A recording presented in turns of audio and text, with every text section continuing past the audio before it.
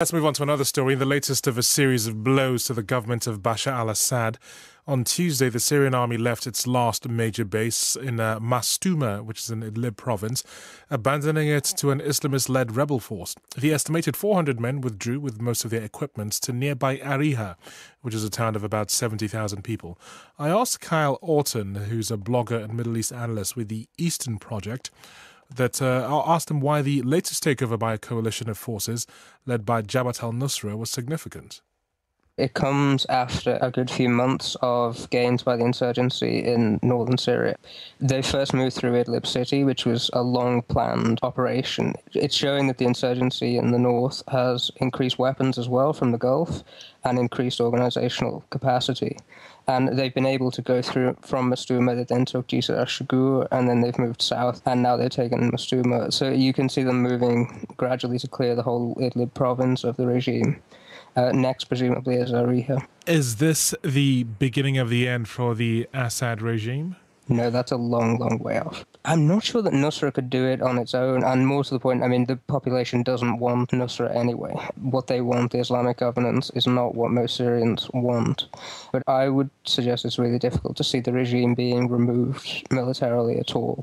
Uh, the regime will contract back into some zones in the Western Corridor around Homs and Damascus, but it, it won't likely be forced out of the capital.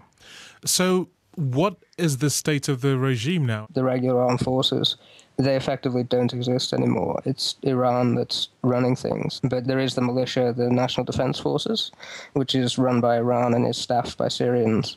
And fighting alongside them and directing them is the Revolutionary Guard Corps and Hezbollah, and also the Iraqi and Afghan and other foreign Shiite jihadists. How about the capital, Damascus? What's happening there?